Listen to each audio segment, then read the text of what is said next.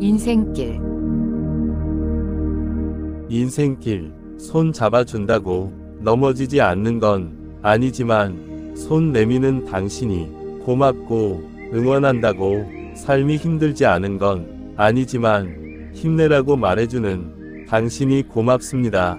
혼자 간다고 다 길을 잃는 건 아니지만 기다려준 당신이 고맙고 말 한마디 안 한다고 우울해지는 건 아니지만 말 건네준 당신이 있어 고맙고 고운 당신처럼 고마운 분이 있기에 우리들의 삶은 더욱 아름답고 향기롭습니다.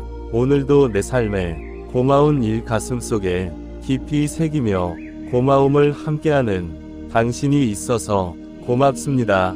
좋은 글.